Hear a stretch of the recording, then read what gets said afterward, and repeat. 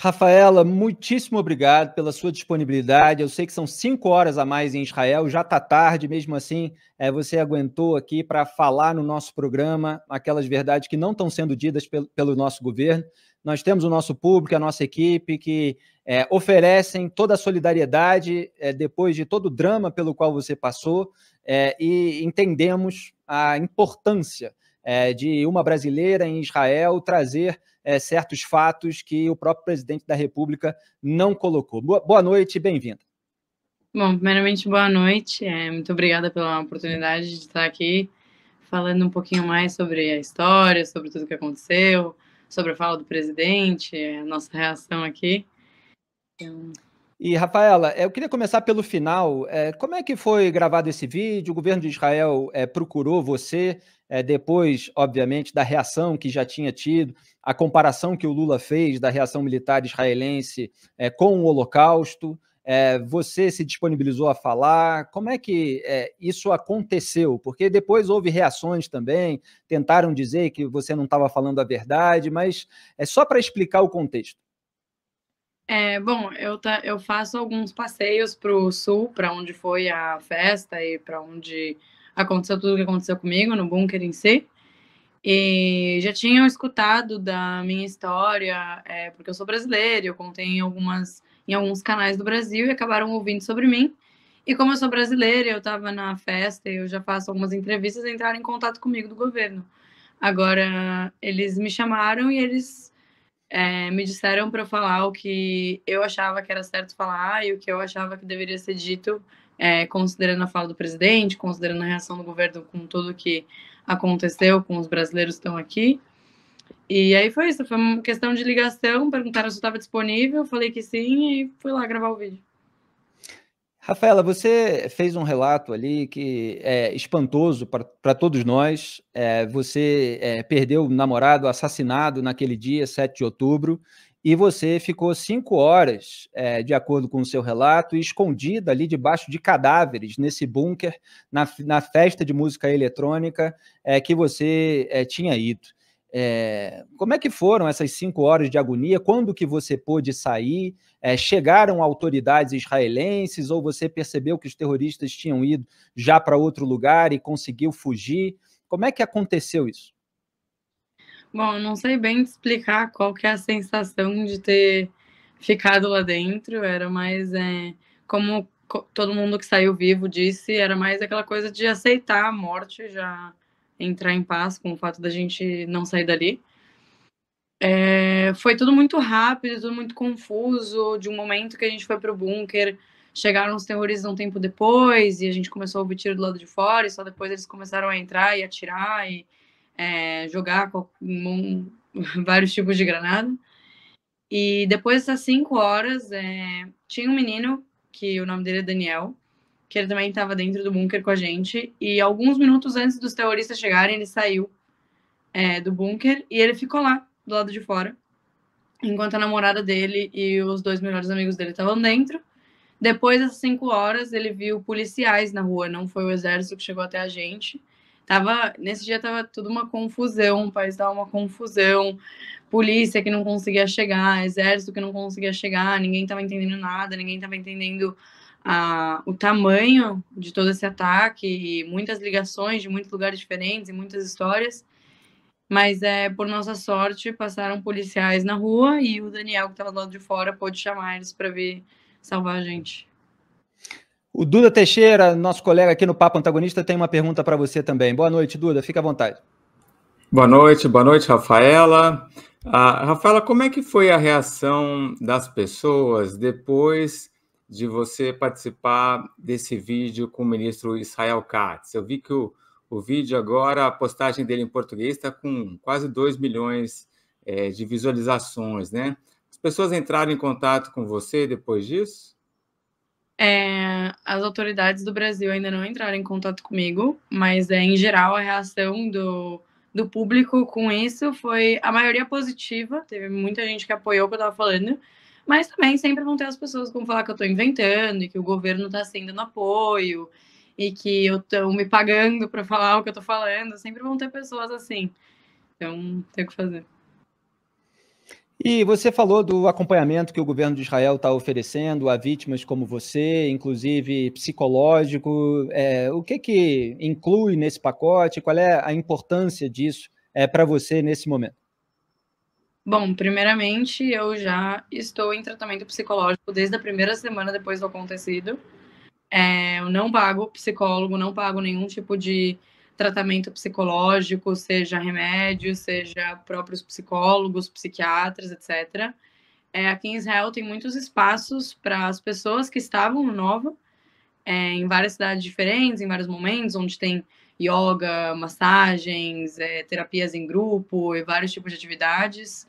É, tem um passeio que eu também fiz, que foi para o Chipre, que eles é, pegaram um hotel e trouxeram muitos psicólogos, psiquiatras, psicanalistas é, para ajudar a gente, colocaram a gente também em terapias de grupo e vários tipos de atividades. Tem realmente muitas coisas que Israel oferece para ajudar. Eu vi uma resposta que você deu é, para os seus seguidores, falando numa diferença de postura, porque, como Israel é uma democracia, tem muito debate a respeito de tudo, inclusive é, sobre a reação militar israelense. E aí você apontou uma diferença é, entre a postura das famílias, é, de que tem crianças, mulheres e pessoas deficientes ou idosas em cativeiro, e famílias que têm jovens, homens mais saudáveis que estão em cativeiro. É, existe uma distinção sobre é, como cada família acha que deve o país agir nesse momento, é, em razão é, do tipo de refém? É porque, na verdade, não é questão de refém, é porque se você for pensar de uma maneira muito simples, cada família vai pensar de uma maneira egoísta. Cada família vai querer é, favorizar e vai querer trazer o quanto mais rápido o familiar dessa pessoa que está em cativeiro agora. Então, existem dois casos que acontecem. É, tem gente discutindo que querem fazer um acordo, é, querem que Israel faça um acordo com Hamas, o que é extremamente problemático, porque eles não seguem regras de acordo, ou porque não querem muitas vezes, ou porque eles pedem coisas extremamente exageradas que botam em perigo o país depois. E quando se tem um acordo, é, é priorizado a volta de mulheres, crianças, idosos deficientes. Agora, existem famílias de meninos e jovens e homens saudáveis que estão em cativeiro, e quando se há um acordo, favoriza o outro lado. Então, essas pessoas acham que, na verdade, não se deve ter um acordo, é, e sim continuar as atividades do exército da maneira que está, e de, que devolvam todos os reféns ou nenhum, para não ter uma é, prioridade entre os outros, porque eles querem dizer que as vidas são iguais e que tem que trazer todo mundo de uma maneira igual. É só atualizando, é, foram 239 sequestrados, 134, de acordo com o governo de Israel, ainda estão em cativeiro na faixa de Gaza. Duda Teixeira. Rafaela, no vídeo que você gravou com Israel Katz, você conta que você foi para Israel há três anos. Você conta também de uma viagem que você fez para a Polônia. É, e você, é, em outubro, sobreviveu aí a um ataque do Hamas. Ah, como é que você define o que é ser judia hoje? Nossa, essa é uma pergunta, na verdade, muito difícil, que a gente faz em diversos momentos da nossa vida, principalmente estando aqui em Israel. É, tem muita, muitas maneiras de você definir o que é ser judeu, seja você definir por uma crença de religião, que não é muito meu sentido, eu não sou uma pessoa que realmente estou praticando a religião o tempo todo, ou indo para frequentando sinagogas, etc.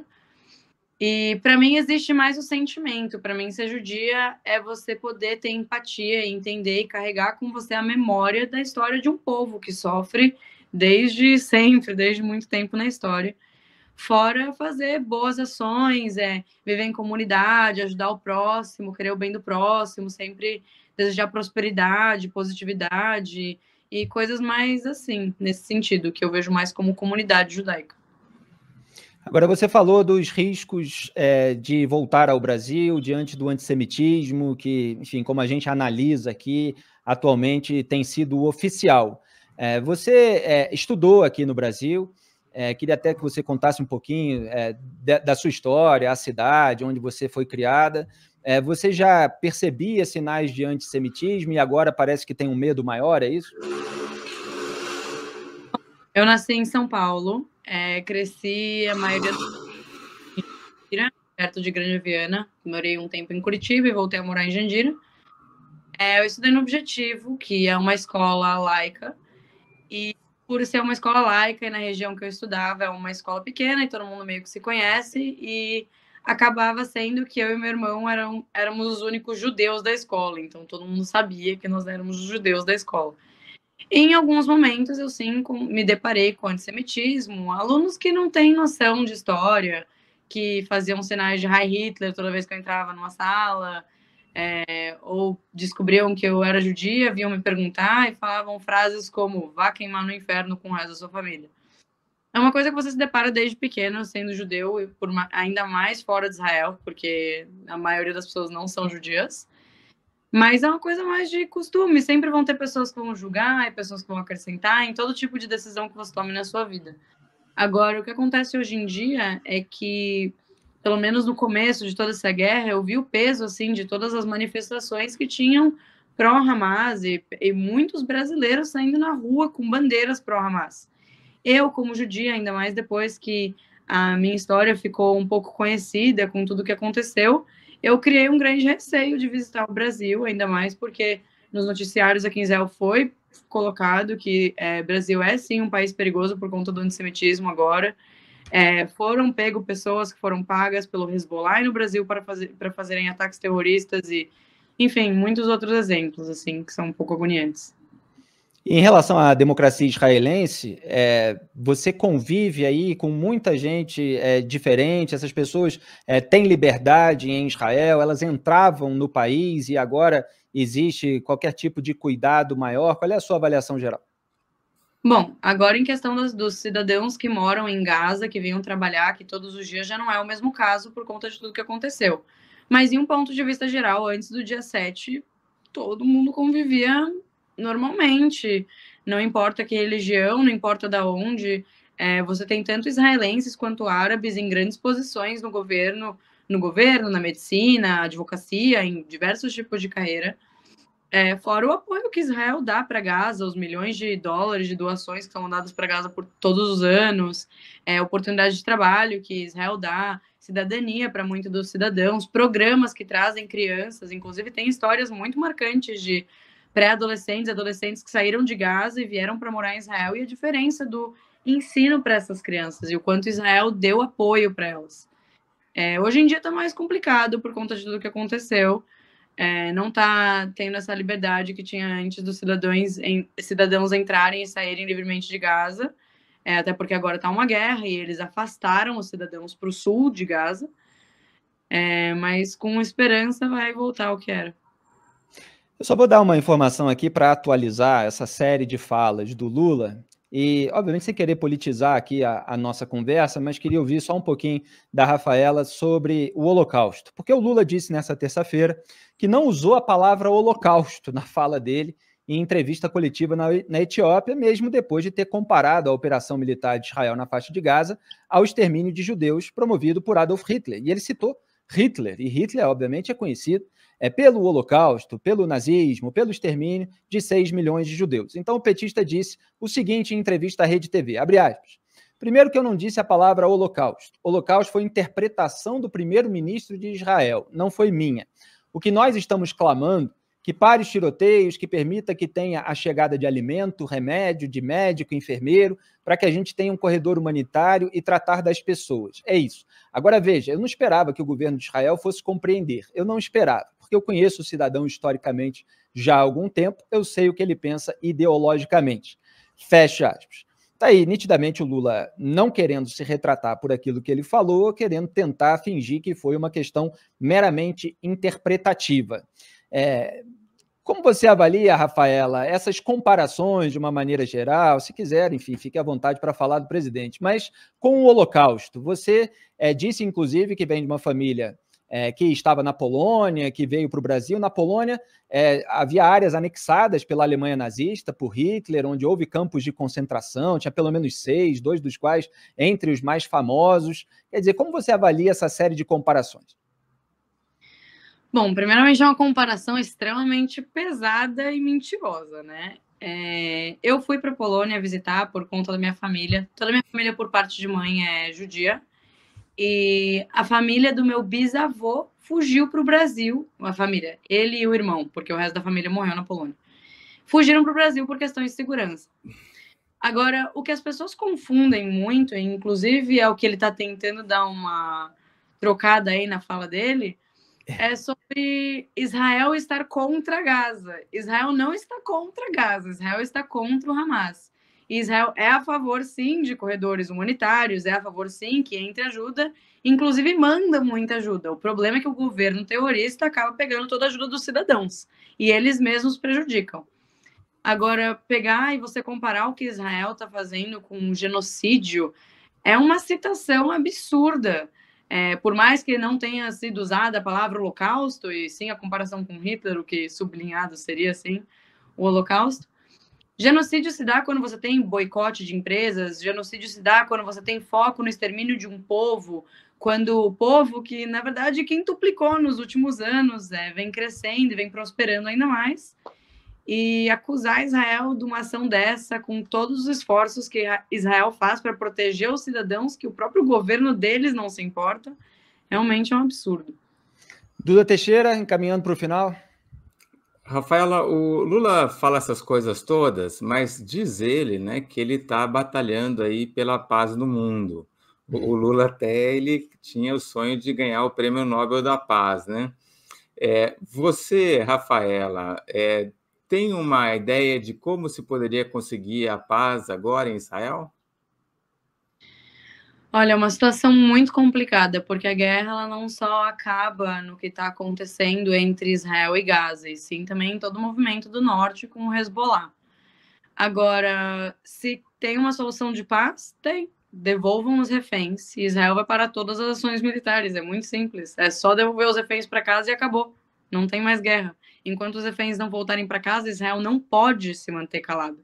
Então, essa seria a solução do fim que era o que acontecia antes do 7 de outubro. Né? Israel não estava é, atacando diretamente é, o Hamas dentro da faixa de Gaza, tinha saído de lá em 2005. Inclusive, havia na prática um cessar-fogo e o Hamas interrompeu isso com a invasão do território, 1.200 assassinatos, 239 sequestros. E só para encerrar, você é, coloca também a questão do Egito, que muita gente esquece, né? O próprio Egito ali não libera a entrada é, de moradores da faixa de Gaza e muitas vezes Israel leva a culpa por prender essas pessoas lá, justamente porque o Egito tem uma preocupação com o governo terrorista do Hamas, é isso? É, porque as pessoas tendem a dizer que Israel prende a, os cidadãos de Gaza em Gaza. Sendo que se você pegar imagens, primeiramente você pegar imagens da diferença dos muros entre Israel e a divisória com Gaza, e do Egito a divisória com Gaza, você vai ver que os do Egito são bem mais altos, bem mais protegidos, etc. Israel dá todo esse apoio para os cidadãos aqui, dá todo o apoio de trabalho, de estudo e etc. E as pessoas esquecem de parar para se perguntar: nossa, por que, que no meio dessa guerra, obviamente Israel vai ter que tomar a decisão de ser um pouco mais vigoroso com as pessoas que entram e saem de Gaza? É, por que, o Egito, que tem a mesma religião que muito de, desse, que grande parte desse povo, ou eles são irmãos e irmãs das pessoas que estão em Gaza, por que, que eles não abrem as portas? Por que, que, a, por que, que Israel, depois de tudo que aconteceu de 7 de outubro, ainda tem que pegar todo esse povo? Por que, que isso está em Israel? A culpa é de Israel. Rafaela, queria saber se você tem alguma mensagem final para os judeus brasileiros. Volta e meia, você sabe, eu converso com, com vários deles, alguns ficam realmente preocupados é, desse conflito ser importado aqui para o Brasil, de eles sofrerem ataques antissemitas, como aconteceu outro dia com uma comerciante judia em Arraial da Ajuda, na Bahia, e se é seguro também viajar para Israel nesse momento. Né? A, a rotina aí, ela voltou mais ou menos a ser é, igual ao que era antes? Bom, a rotina, não, não digo voltou a ser igual, até porque a sensação do país está muito pesada desde o dia 7 de outubro, mas não tem perigo assim. É, obviamente, todo lugar que se vai tem os seus certos perigos. Eu ando aqui com a maior liberdade do mundo, mesmo depois do dia 7, é, continuo caminhando, continuando com a vida normal, não parei de andar de ônibus, não parei de andar na rua, não parei de sair. É, e eu só digo que eu espero que as pessoas se informem mais no assunto, porque eu creio que as pessoas que estão a favor do Hamas são pessoas que estão desinformadas. E para os judeus do Brasil, mantenham unidos, a gente está acostumado com, com tudo que está acontecendo a gente vai passar por isso de novo. Rafaela Treisman, é assim que se pronuncia? Treisman.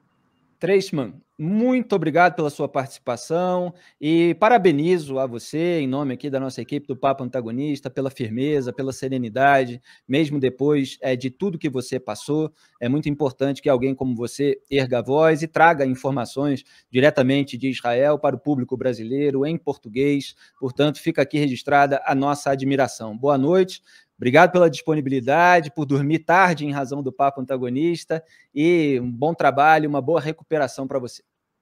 Obrigada. Muito obrigada.